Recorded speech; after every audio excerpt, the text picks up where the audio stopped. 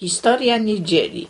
Ponieważ wiadomo już, że Kościół katolicki dokonał zmiany boskich przykazań i przeniósł święcenie soboty na niedzielę, zastanowić się wypada nad kwestią sposobów wprowadzenia przez Kościół obowiązku niedzielnego do praktyk chrześcijańskich oraz czasu, w jakim to nastąpiło.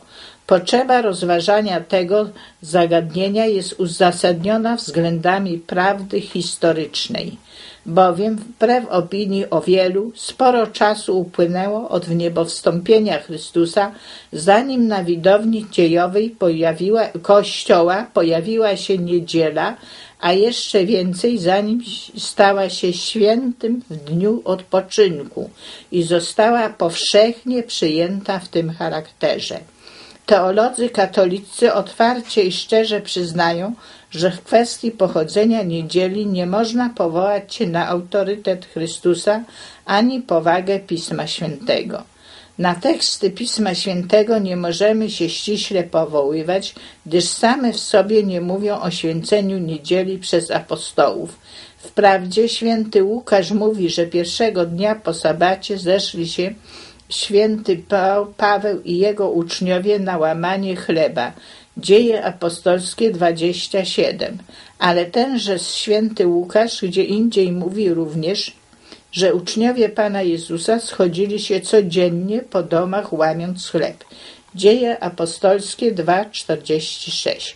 Według niektórych pisarzy także słowa świętego Jana iż miał objawienie w Dzień Pański, należy tłumaczyć, że było to w niedzielę, ale potwierdzenie na to w tekście nie ma. Mógł święty Jan e, Dniem Pańskim nazwać sobotę albo jakieś inne święto. Apokalipsa 1:10. Przyznają także, iż niedziela nie powstała z soboty, lecz jest tworem na wskroś nowym, zrodzonym w łonie Kościoła. Mylnie sądzą prawie wszyscy autorzy piszący o niedzieli, że powstała ona ze sabatu jako swego rodzaju zamiana. Niedziela jest czymś nowym w Kościele. Niedziela chrześcijańska nie zrodziła się bezpośrednio z sabatu żydowskiego. Jest ona raczej tworem na wskroś chrześcijańskim. Niedziela od chwili powstania nie posiadała charakteru dnia świątecznego odpoczynku na wzór soboty, gdyż charakter ten przysługiwał obowiązującej nadal sobocie. Uchodziła jedynie za dzień kultu paschalnego, w którym obchodzono Eucharystię. Konstytucje apostolskie z wieku IV podają jedynie zmartwychwstanie pańskie jako pierwszą przyczynę wyróżnienia niedzieli. Dochodzimy więc do wniosku, pisze ksiądz Zaleski, że w pierwszych swoich początkach niedziela w chrześcijaństwie ma charakter kultu paschalnego. Spoczynek niedzielny nakazuje dopiero prawo Konstantyna Wielkiego z roku 321, a w ślad za nim synody kościelne. Odtąd niedziela staje się świętym dniem odpoczynku. Początkowo święcenie niedzieli ograniczało się do uczestniczenia w porannej uczcie eucharystycznej, a z czasem rozciągnęło się na cały dzień. Już Didache i święty Justyn mówią o święceniu niedzieli przez wysłuchanie mszy świętej. Synon w Elwirze w roku 300 nakazuje wysłuchanie mszy świętej pod grzechem ciężkim. Spoczynek niedzielny nakazuje prawo Konstantyna Wielkiego z roku 321 i jako przestępstwo karze naruszających spoczynek niedzielny. Niemniej surowe pod tym względem jest prawo Teodozjusza w IV wieku, na synodzie w Orleanie została potępiona praca ręczna czyniona w niedzielę. Święty Cezariusz Zarles, wiek VI, stwierdza, że chwała soboty żydowskiej przeszła na niedzielę. Dlatego trzeba powstrzymać się od prac, interesów i robót na roli. Synod w Laodicei, wiek czwarty, nakazuje, żeby chrześcijanie, o ile mogą, nie pracowali w niedzielę. Widzimy z tego, że jeszcze w wieku IV, przynajmniej w Małej Azji, obowiązek powstrzymania się od pracy nie był tak rygorystycznie zachowany. Niedziela nie od razu została przyjęta przez wszystkie gminy chrześcijańskie. Do powszechnego przyjęcia długo torowała sobie drogę, lecz od czasów Konstantyna Wielkiego jest już zjawiskiem powszechnym. Nie od razu zapewne zdobyła sobie ona, to jest niedziela, y, we wszystkich gminach kościelnych prawo obywatelstwa, ale od Konstantyna Wielkiego jest już zjawiskiem powszechnym. Od czasów Konstantyna Wielkiego niedziela staje się nie tylko świętem kościelnym, ale także państwowym dniem odpoczynku, o czym pisze doktor ksiądz Józef Umiński. Niedziele stają się w tym okresie od edyktu mediolajskiego do powstania państwa kościelnego, czyli 313-755, już nie tylko kościelnymi, ale i urzędowymi świętami chrześcijan. Konstantyn Wielki zakazuje odbywać w nie sądów i robót publicznych, a Teodozjusz I zabrania widowisk i zabaw teatralnych. Synody zabraniają w niedzielę prac rolnych.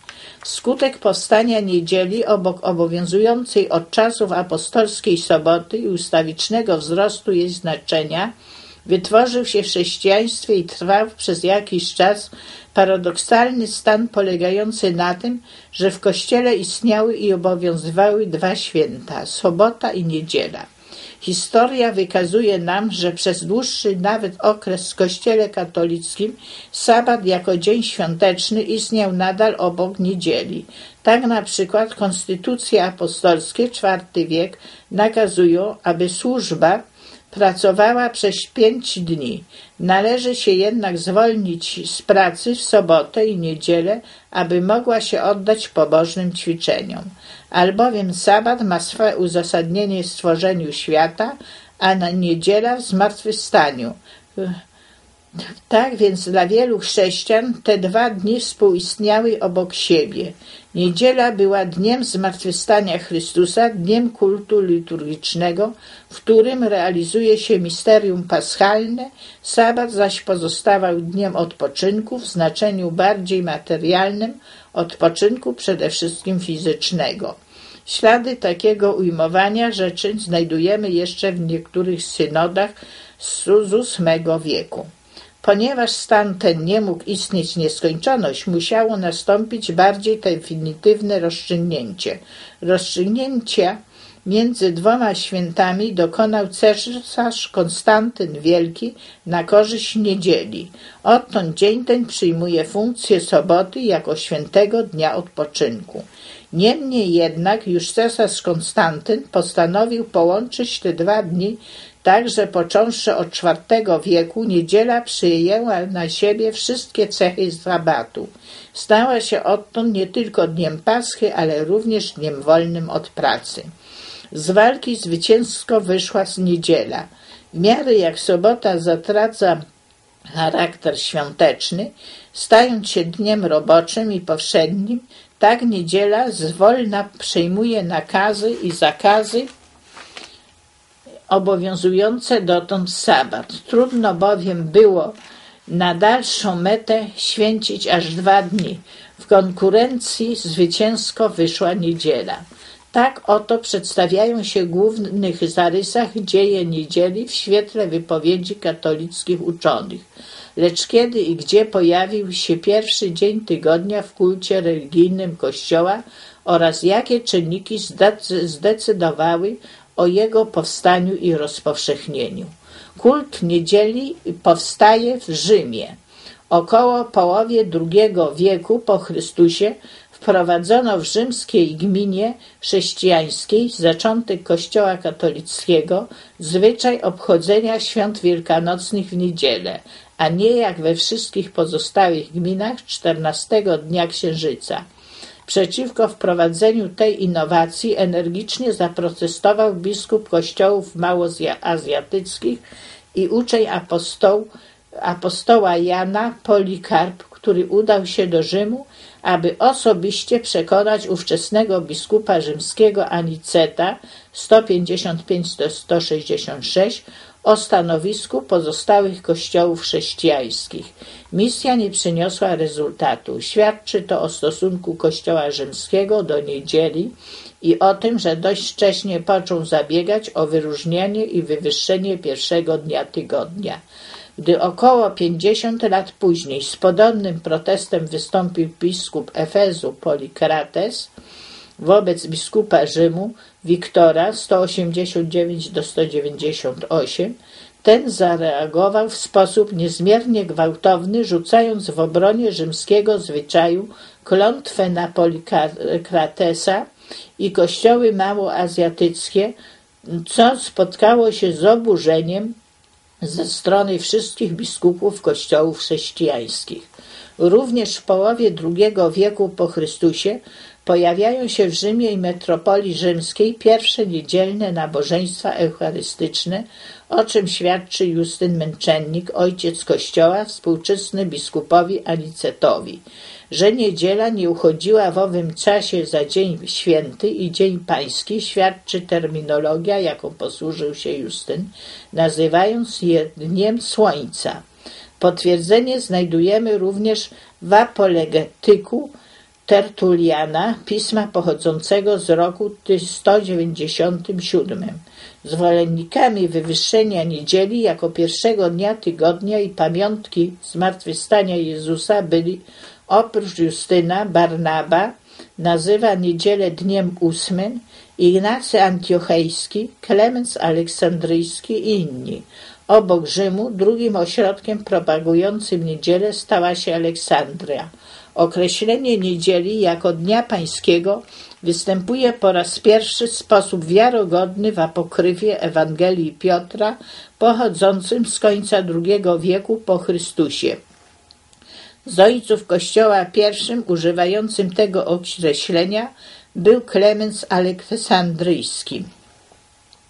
Równolegle z wywyższeniem niedzieli Kościół rzymski troszczył się także o należyte poniżenie soboty. Jako pierwszy zaprzestał darzenia jej należytym poważaniem i czcią. Wyrazem negatywnego stosunku do biblijnego dnia odpoczynku było przekształcenie go na dzień smutku i żałoby przez wprowadzenie sobotnich postów, stanowiących z kolei przygotowanie do niedzieli podnoszonej ustawicznie do godności dnia radości i szczęścia. Praktyki tej nie stosowano początkowych w innych kościołach. Pod koniec IV wieku po Chrystusie występowali przeciw niej święty Ambroży 375-397 oraz Augustyn 354 do 430 w licznych swych pismach. Tak więc pierwszym kościołem, który zaprzestał święcenie dnia sobotniego, był kościół Rzymu, stołecznego miasta Cezarów. Zapoczątkowane przez kościół rzymski zwyczaje i praktyki zyskały z czasem, mimo protestów, ogólne przyjęcie. W pierwszym rzędzie przyjął się sposób obchodzenia Wielkanocy. W ślad za nim rozpowszechniały się niedzielne nabożeństwa eucharystyczne. Niedziela stawała się coraz popularniejsza. Powoli, lecz konsekwentnie wspierała sobotę, przejmując w końcu jej funkcje i miejsce. Z dnia liturgii paschalnej stała się dniem świętym i dniem odpoczynku. Sprzymierzeńcy niedzieli. Zarówno w powstaniu niedzieli, jak i jej rozpowszechnianiu w chrześcijaństwie odegrały swą rolę czynniki, o których nie sposób nie wspomnieć. Przede wszystkim wielkie usługi oddał antagonizm antyjudejski i choć odróżnienia się od, i chęć odróżnienia się od Żydów. Doniosły wpływ musiały wywrzeć rygorystyczne zarządzenia cesarza Hadriana 117 do 138 wobec Żydów w związku z niedawnym powstaniem pod wodzą Bar Kochby w latach 131-135. Straszliwa wojna między Rzymianami a Żydami w latach 131-135 spotęgowała nienawiść Rzymian do wszystkiego, co miało jakikolwiek związek z żydostwem. Hadrian Cesarz rzymski wydał w tym czasie surowy edykt zakazujący przestrzegania żydowskiego szabatu.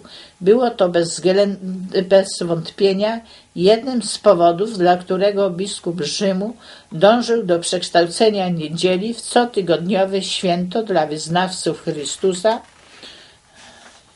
judaizmu był tak, y, judaizm był tak niepopularny w Rzymie w roku 135, jak nasizm po zakończeniu II wojny światowej.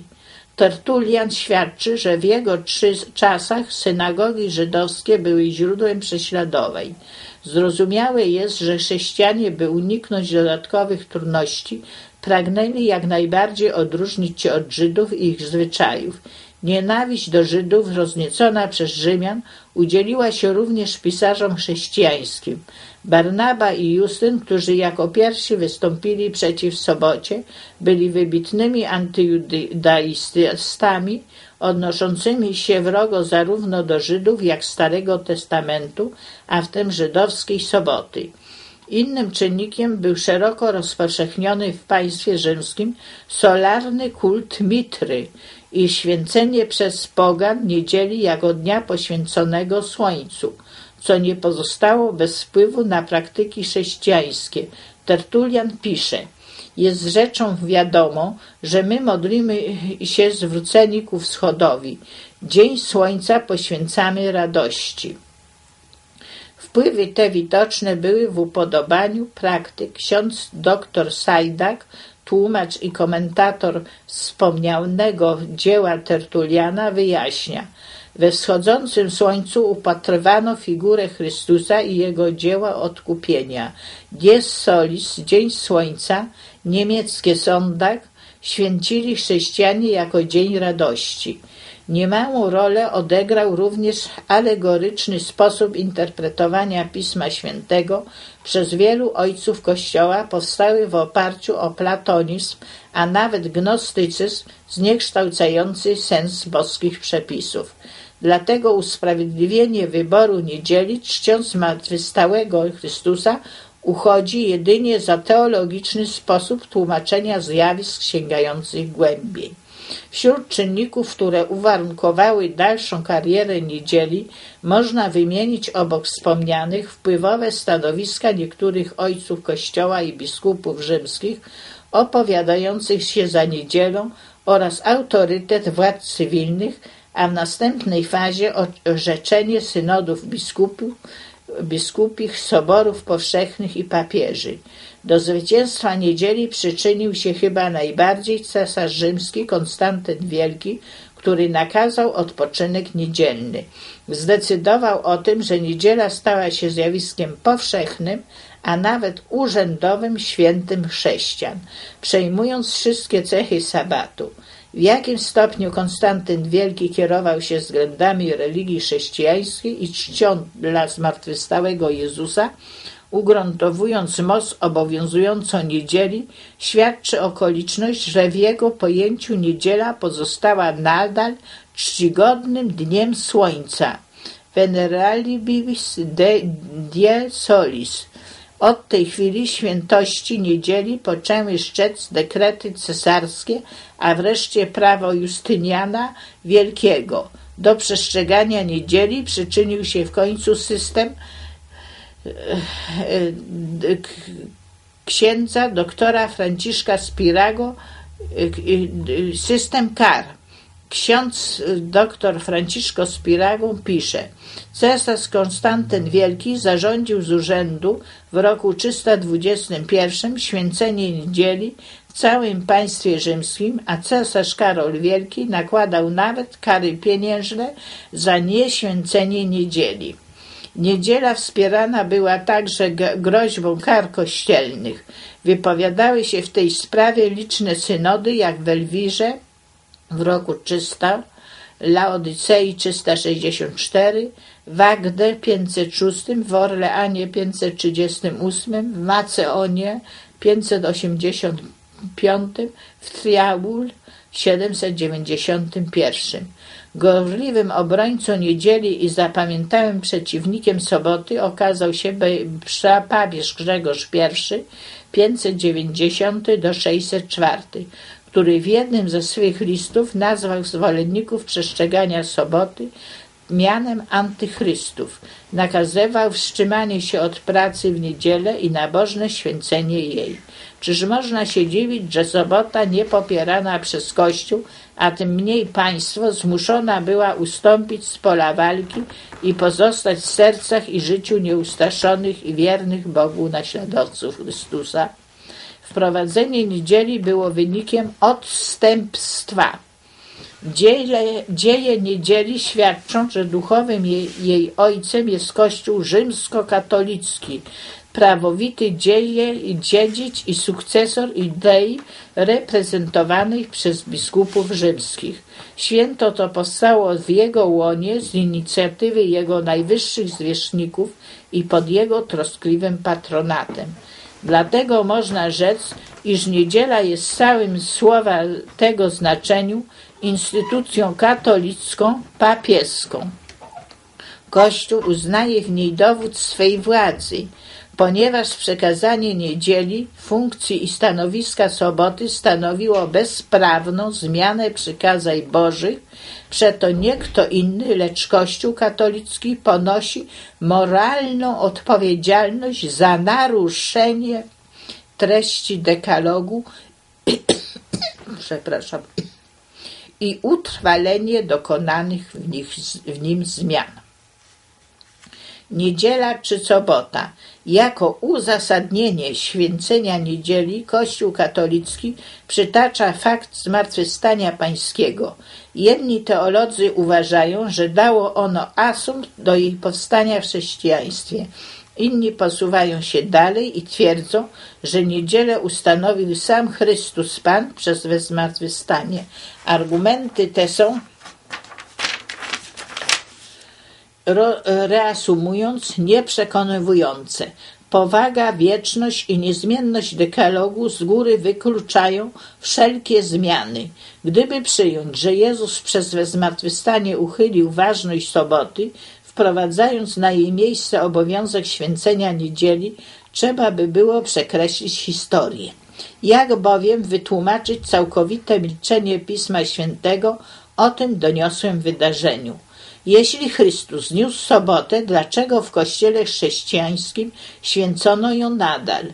Jeżeli ustanowił niedzielę, z jakich powodów nie przyjęto jej od początku powszechnie jak inne nakazy Chrystusa? Skoro zmiany zakonu Bożego dokonał Jezus, jaka była potrzeba dokonywania jej przez Kościół katolicki? Jeżeli odpoczynek niedzielny ustanowił Jezus, jak wytłumaczyć fakt, że odpoczynek ten pochodzi dopiero od czasów Konstantyna Wielkiego? Wreszcie, co zrobić z nauką Pisma Świętego o świętości i niezmienności zakonu Bożego? Co zrobić z faktami historii? Pytania powyższe byłyby bez odpowiedzi. Kościół święci rzekomo niedzielę na pamiątkę zmartwychwstania pańskiego, tego wielkiego wydarzenia w dziejach zbawienia. Ale dlaczego nie święci piątku na pamiątkę śmierci Chrystusa, która jak wiadomo była zdarzeniem nie mniej doniosłym, a może nawet donioślejszym z uwagi na odkupienie ludzkości? Czy jak, jakiekolwiek wydarzenie posiada moc uchylającą przykazania Boże, Kościele rzymskokatolickim wbrew intencji istnieją, jak widać, przykazania przeciw przykazaniu Bożemu, używając terminologii księdza Franciszko Spiragi.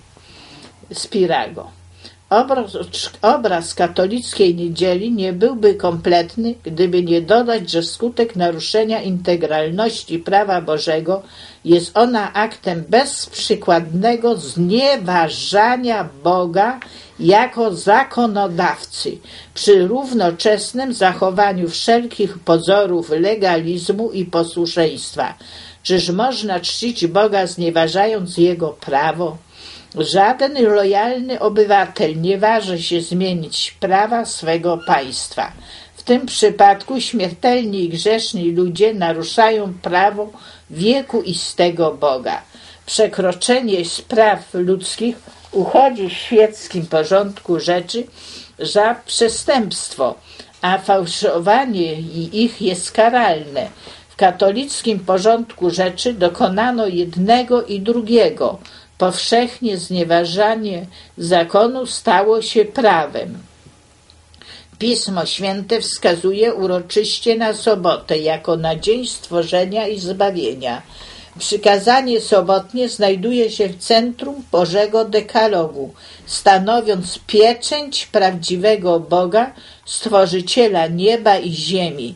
Przeto święcenie soboty staje się nie tylko wyrazem posłuszeństwa wobec Boga oraz wiary w dzieło stworzenia i zbawienia, lecz także znakiem przynależności do Boga. Sabaty moje święcie, aby były znakiem między mną a między wami i abyście wiedzieli, że ja Pan Bóg wasz. Obok swej funkcji społeczno-religijnej sobota kryje w sobie głęboki aspekt ideologiczny. Trudno nie ulec wrażeniu, że zmiana soboty na niedzielę jest dniem tajemnych sił wrogich wobec Boga i Jego prawa, posługujących się najwyższymi godnościami religijnymi świata. O ile sobota jest znakiem prawdziwego Boga, niedzielę można nazwać piętnem lub znamieniem mocy przeciwnych. W takim stanie rzeczy nie jest z punktu widzenia zbawienia obojętne, pod czyim znakiem stoją wyznawcy Chrystusa. Powiedział on, bo zaprawdę powiadam wam, jak długo niebo i ziemia trwać będą, nie przeminie sprawa ani jedna jota, ani kreska jedna. W obliczu Boga dniem świętym pozostaje sobota. Kto pragnie naśladować w duchu i w prawdzie swojego Zbawiciela, wiodącego w przybytki wieczności, winien za jego przykładem święcić boski dzień odpoczynku, a nie papieską niedzielę. Dziękuję.